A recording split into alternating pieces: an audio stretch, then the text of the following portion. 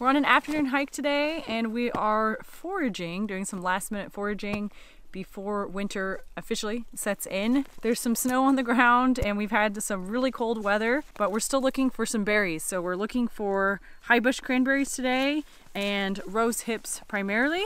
And I even found a few currants. Currants are a lot harder to find. They're super delicious. They taste like a pomegranate. The rose hips taste a lot like ketchup once they're processed and the high bush cranberries are really tart. They're not actually a cranberry, but I think they get their name because they're really tart like a cranberry. They're actually really delicious once they've frozen just a little bit, but we have some plans to make things with these back at the cabin. We need quite a bit more, so Eric and I are just gonna keep picking with the dogs.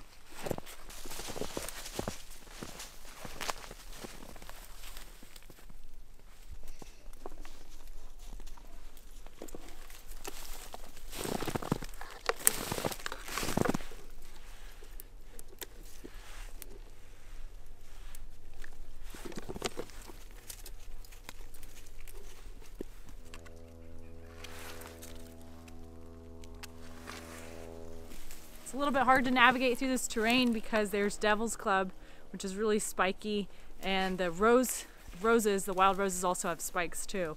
Everything's pretty much lost its foliage, but these berries are really easy to identify.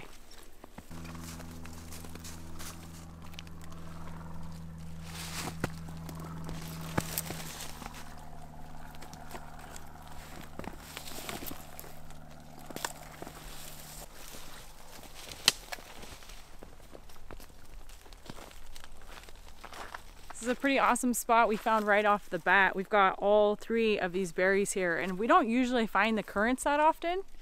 These are the rose hips and I'm just kind of selectively picking which ones I think look good.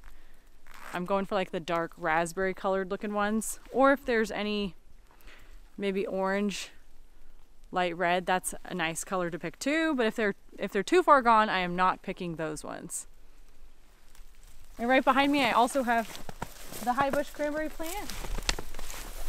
You can't really confuse these with other plants, but there is the currant that looks, it looks pretty similar. And this one's right over here. And the currant plants don't get as big and they're usually more translucent. So like the high bush cranberries are cloudy and these ones are more oh, like a clear looking. And they definitely taste different. And I can also tell too by the, the bottom the end of it looks a little bit different than the high bush cranberry. I would actually love if we could find these ones more because they're they're really really good flavor.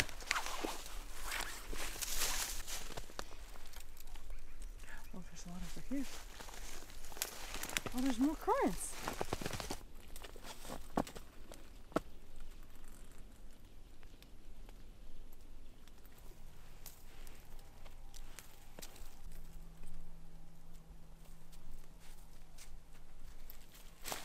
This one is loaded. I think one of my favorite parts about picking these as we're getting closer to winter is they do get a little sweeter, but there's no leaves on these plants. So you just grab a handful. This is like one of the easiest berries to pick. You get so many of these things. But I think I think we got enough for the high bush cranberries. We wanted to get about two cups. We've got over that.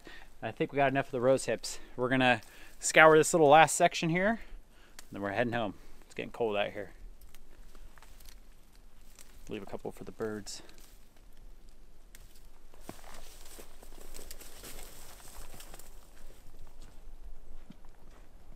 We made it back to the cabin and we cleaned up all of our rose hips and berries last night. We're first going to be starting with the rose hips and I'm making ketchup. We've done it a few different times before. It turns out really nice. I don't know what it is about these guys, but they just have a strange tomato flavor. They also taste a little bit fruity too. There's lots of different things you can do with them. You can definitely eat them raw, but we're going to be processing them into ketchup today. For this recipe, I've got about six cups of these that are going into this pot. Some of them are frozen too, which is okay. And then I also have a handful of Roma tomatoes. I'm adding some this year because I want it to be a little bit thicker. Takes a while to get it, cooking it down to get it really thick like ketchup. I'm gonna add enough water to cover just the tomatoes and the rose hips and then I'm gonna get this simmering probably on medium or high for about like 30 minutes or so. While that's going, I'm going to be pulling down some herbs that we have drying. They have been drying for a long time and I finally have some time to get them down and go through them. This is a little drying rack that Eric made for me about two years ago, and I use it a whole bunch. And we even have little nails behind this on our wall where we store onions too. Let's get all these off. Around the Christmas lights, huh? We get a lot of questions about drying herbs, and it is actually very simple to do. Um, I wait till near the end of the season, our season, and I cut the plants down, usually at the base of them, and I'll tie them up with a little bit of twine, and then I will just hang them. Um, you don't really want to hang them in direct sun when you're drying things like this. You kind of want to put them in a good, in a ventilated area, preferably warmer, preferably less moisture. So our cabin is the perfect spot for it. Usually does not take even two weeks for them to be dry and these ones have been hanging for about a month. And that's really all there is to it. It's really simple, straightforward to do. I really like fresh herbs. I'm a huge fan of herbs in general. I love all of them. And if it were my choice, I would live somewhere where I could just grow them all year round. But that's just not the case here. So we're making do with what we have and we have to dry a lot of these. Most of these will not perennialize. So we get what we get that year and a lot of them we do start from seed so you know they don't get entirely huge. In fact this year a lot of our herbs stayed a lot smaller. This year we dried some thyme. I have rosemary two different sages and some mint. And every year it's kind of different not just based upon what grows well in that particular year but also what we have kind of back storage of. So some years I've been able to grow something and I have so much of it that I don't have to really store the herb the next year because I have extra. We strictly air dry and don't do any sort of dehydration because of our solar system. We have a smaller solar system and just have really minimal energy needs here. We've been able to get away with that. We like it that way. So this works for me because I don't have to really pay energy to do this. I can just hang it and let the environment take care of it for me. We had some dehydrators when we moved up here, but we sold them. We did not want to run a generator all day to dry our food in that manner. And now at this point, these are really, for the most part, pretty easy to deal with because they're really dry. So I just get like a flat table or surface and you can just crinkle them. That's how you know when they're done. So I just crinkle them like that and just the leaves come off of the plant, not the actual stems. Because these ones have dried for so long, they're really crispity. You don't have to let them go this long by any means. And I'm actually going to be kind of careful not to get too much of the stem because the, st the stem's also very dry too. If you catch these a little bit sooner, you can actually just run your hand along the stems and get the leaves off that way. Ooh, that's very crunchy. This one's white sage. It's a little bit strong. I didn't know how to use this one as much. I think it's probably better for like a dried herb because it's it really was strong fresh. I'm a big fan of sage, but this one was, I guess, a learning curve for me. And then from here, I just add it to a mason jar, depending upon how much I have. This one we're gonna fit into a pint. And I try not to crunch the leaves up yet because that's where a lot of the aromas and flavor is in. So I feel like if I crunch it now, I'm not gonna have as much of that released at the time of cooking. Just lightly pack it in there. And there you go. It's as simple as that. I've got some dried sage now.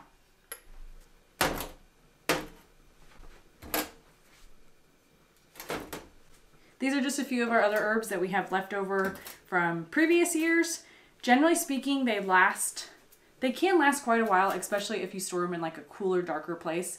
We do that in our Conex. We store a lot of our extras out there. So they do last a long time if you have them, you know, sealed up nicely. But I want to say in general, two years to three years is probably max what I would expect something like this to last, especially if you had it like we do where it gets a little bit of you know sunlight and it's warmer inside of our cabin. These are some of the herbs that I like to have on hand. We have dill, coriander, one of my absolute favorites, rosemary, tarragon, sage. I have some celery leaves and some thyme. In the three years we've had a garden here, we've only had coriander seed once, and that was the first summer we were here. So that's probably something that I cannot rely on every year. So I'm very happy that I have this saved from that first year. And because it's a seed and you crack it open when you use it, it's still very fresh. It has a really nice flavor to it. You can see one like this one has been exposed to the sunlight a little bit and it's, I don't want to say the word bleached, but it has changed its color but once you get into the middle, you can see it's still green inside the jar. Something I'm missing this year is oregano, which is very sad. It does, in fact, overwinter here, even though it is a zone 5 plant, but they didn't overwinter that well, and I was not able to pull that much for them, so I have no dried oregano this year. I'm going to get to putting the rest of these away. A lot of them are really simple. I will say thyme is a little bit trickier. You have to kind of run your hand the opposite way that the plant's growing to get just the little leaves to break off. That one's quite a bit more time consuming. This is a really simple thing to try if you haven't done it. And I mean, I think it's awesome because if you're not, if you're in a zone where maybe you can't grow these plants all winter or they're more dormant and they're not putting on a lot of growth, you can still have the herbs in winter. Definitely doesn't compare to the fresh thing. It's a lot different, but I still really like it. And we'll make a lot of little blends out of these and use them all winter long.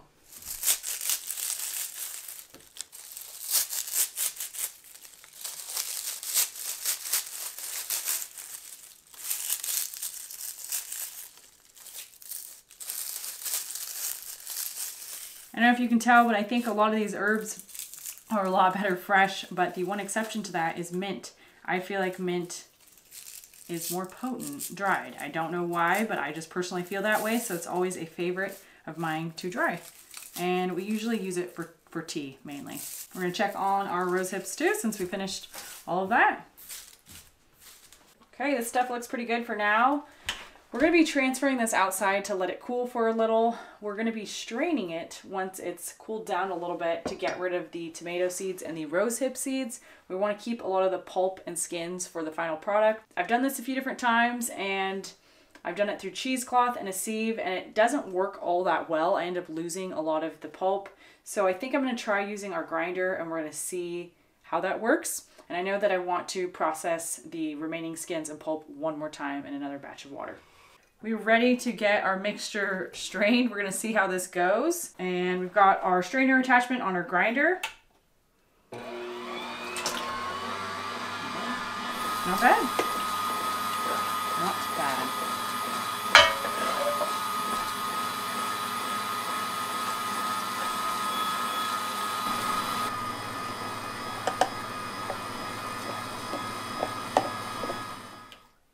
This is working pretty good so far.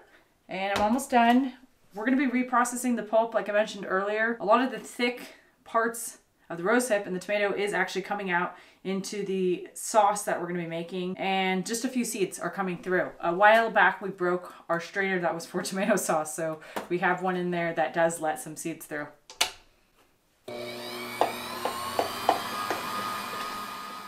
This is going to go back on the stove with some water and you can see there's really not much skin left in there. A lot of it came out in our mixture. I'm just going to cover it with probably about that much water, just enough to kind of cover the rose hips again. And I'm going to let that cook down, but probably not for as long, maybe like 15 minutes or so this time. Our second batch of the rose hip and the tomatoes has cooled, so we're going to run it through our strainer.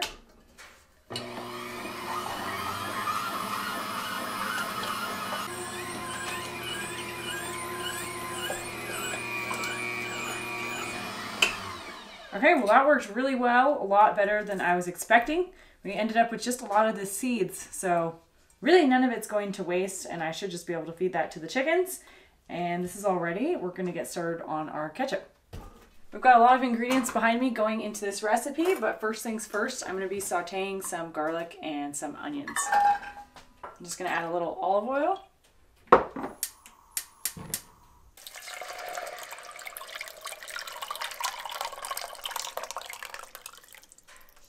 Time to add our other ingredients and this is honestly a mishmash of recipes. There's a few online that I can link for rosehip ketchup, but I did add the tomatoes this time and I'm, I'm just gonna add kind of what I want to add. So we're gonna do a little bit of vinegar, probably about half a cup or so. And then I've got some brown sugar because we wanna make sure that it's sweet. Probably about a cup of brown sugar. And just because I'm also adding some honey, ketchup is traditionally quite sweet. So ours is gonna be sweet too. You can add any of the spices that you want, but I would definitely suggest adding some dry mustard powder. I've got two tablespoons of yellow mustard powder that I have. And we're doing a few herbs. I'm gonna add some rosemary, celery, leaves. We're gonna do some salt and pepper, of course. We're gonna add a little cumin powder, some paprika. I've got some cayenne pepper. And then I'm gonna add just a little bit of cloves and allspice, ground cloves. Not too much of this stuff. This is honestly probably more of a fancy ketchup recipe, kind of borderline barbecue sauce, but this is how we made it last time too, and it turned out really nice. I'm not quite sure how long I'm gonna let this cook. I'm going more for a consistency. And in fact, I'm gonna be immersion blending all of it. So I'm not worried about the chunks in there. I'm thinking it's probably gonna go for at least 20, maybe even 30 minutes. It has a nice consistency, but I do want it thicker for canning. While that's reducing, we're gonna start on the next recipe, which is going to be a hot pepper jelly. We have actually never made a hot pepper jelly, believe it or not.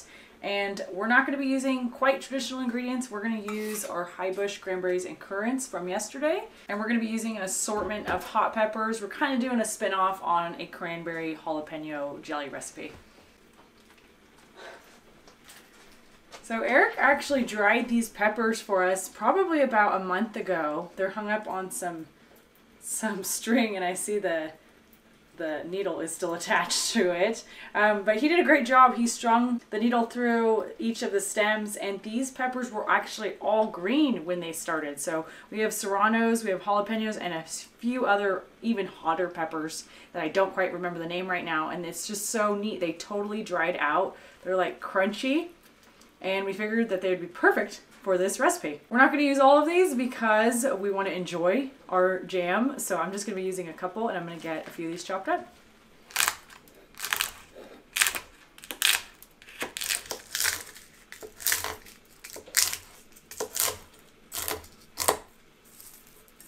Want this real spicy, so we're going to do one more pepper and hope that's not a mistake. This stuff is awesome. We've never done this before. And in general, the peppers do really well here. So I think this is probably something we can do in the future, but Eric had heard about doing this and tried it, and I'm excited because they're just like pepper flakes. This is also a really easy recipe. I'm going to be getting the high bush cranberries and the peppers and a few other ingredients in a pot. And we're not going to be straining this one because we want it to be jam.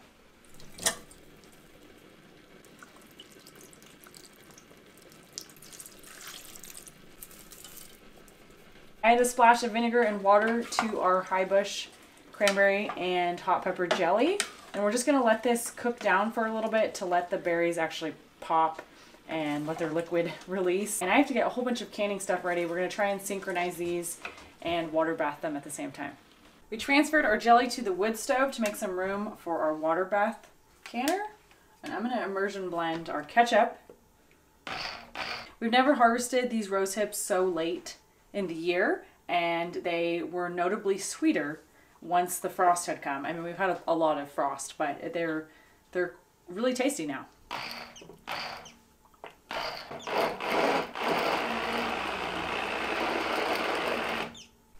All right, that looks about good.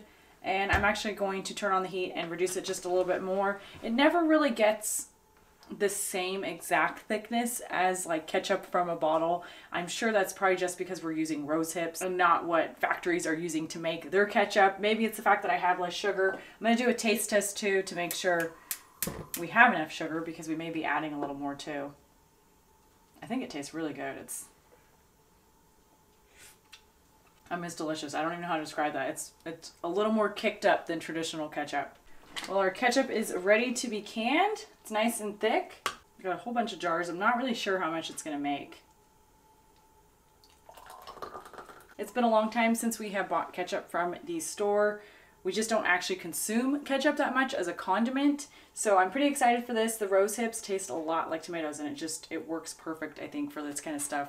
Or even if you're making barbecue sauce. We like to add this to chili. You can put it as, on pizza. And another way we like to use it is on top of meatloaf. Oh no, I splashed my face.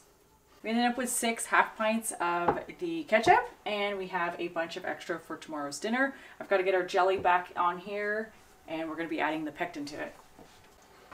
This jelly is extremely tart. I had to wait to add the sugar per the pectin's instructions. We're using Sure-Jell less sugar, a box of that, and I have that added with about half a cup of sugar in here.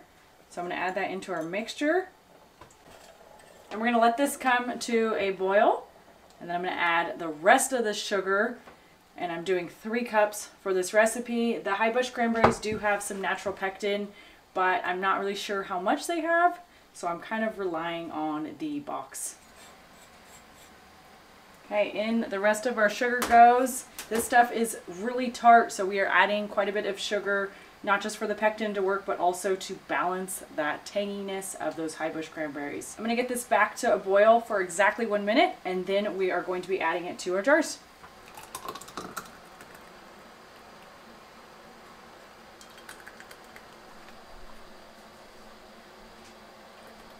Well, this is good news. We ended up with a lot more than I was anticipating. I'm gonna get some lids on these and then we're gonna put everything in the water bath for 15 minutes. Well, unfortunately and fortunately, it looks like it's going to be two batches. And after this, we are calling it quits for the night and we're gonna pick back up with our work tomorrow.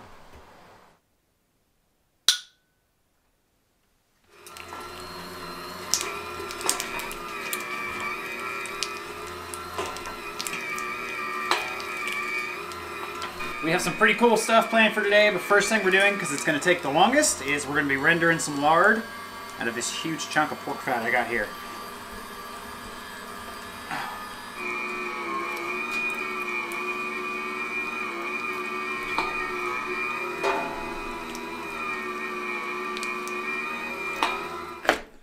This pork fat is partially frozen, which helps it go through the grinder. Pork fat can get really messy if it's not cold when you're grinding it. And you don't have to grind it if you're making lard. It just makes it a lot easier. And we're going to end up with more lard at the end.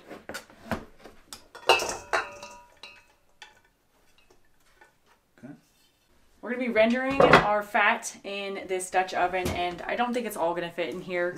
I'm just gonna start with a little bit and I like to do that so I get like a nice greasy layer in there first and then I'll add more fat in. And when we're first doing this, you wanna keep the heat on pretty low or maybe medium, just not very high.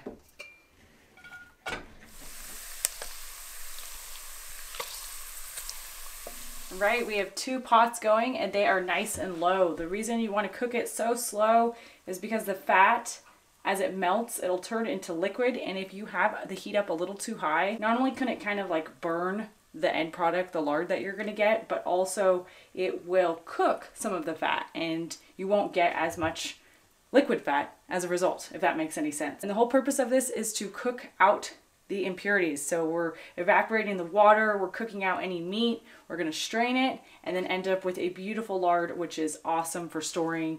It stores for years and it is wonderful for cooking with. We purchased this fat from a butcher a few months back. I had hoped to use it with the moose that we were going to potentially harvest during moose hunting season. But since then, Eric and I have actually decided that we don't really like to add this as much to the moose meat, so it, that's perfect because I love lard and I don't have any lard. All I have is tallow right now.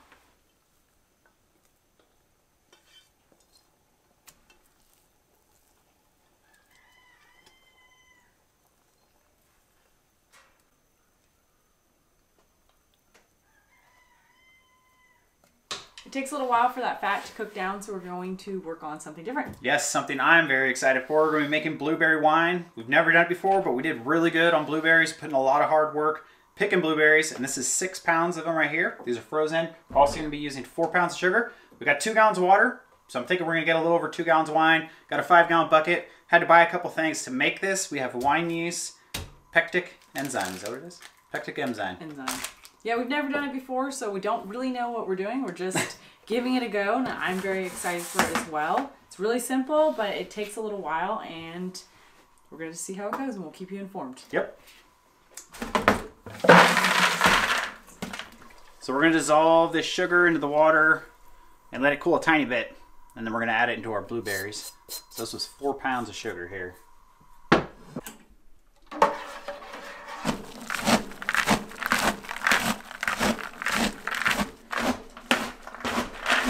We've read that using frozen blueberries is actually better.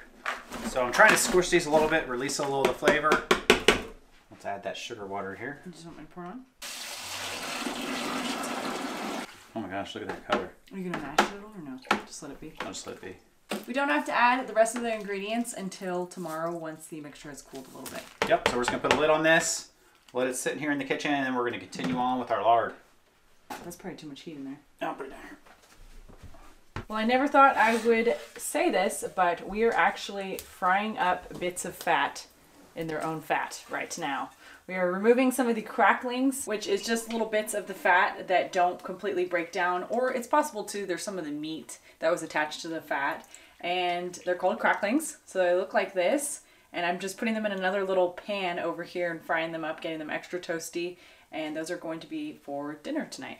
This lard has been going for a few hours and we're getting really close to the end. I have to watch it now a lot closer, make sure that we don't scorch the lard. We're gonna be straining all those cracklings out and I'll know it's done when I don't see any more bubbles anymore, when I don't see any, you know, like foam or bubbles, which would indicate that there's no moisture in the lard anymore.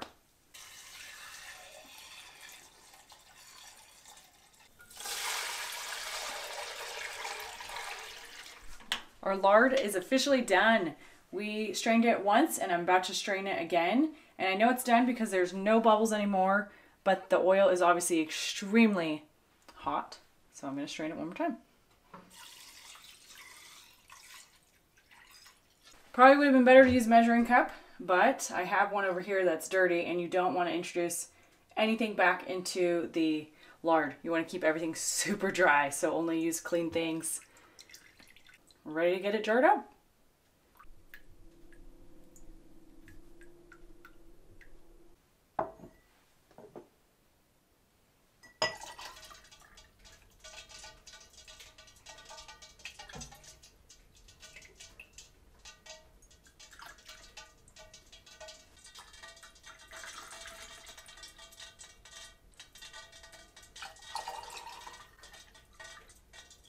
Well, it's time for dinner. We're gonna do some moose meatballs and some steamed Brussels sprouts. Meatballs, they're super easy. We got one pound of moose meat here. We're gonna do an egg. We got some seasonings. We have some of the dried herbs that Arielle took down earlier and one of the chilies. We're gonna do garlic and onion, and then a nice little topping we're gonna do in here. This is the cracklings from the lard we just rendered. So these are gonna have a lot of flavor in them. I'm probably not gonna put all these, but I'm gonna do about half. Those cracklings. I would say go heavy on the cracklings, you know? More than that. I don't know. Let me get a up first. Huh, you put a chili in there? Yeah. That's good. That's getting nice. Are you ready for your toppings? Yeah, you can throw them in there.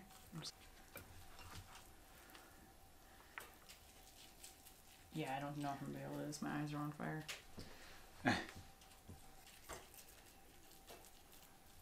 oh my gosh, this is cute. Uh, I'm sorry, that Take a little off that one. took a little off that one, yeah. That was yours. What? I'm pretty sure that was yours. Maybe it was not. And they're beautiful. It's the cracklings.